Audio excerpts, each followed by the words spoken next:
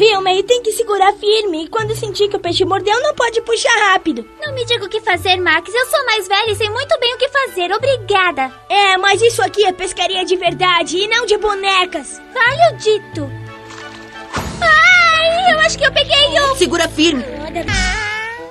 Quando se pesca pokémons, não basta pegá-los, você tem que vencê-los também.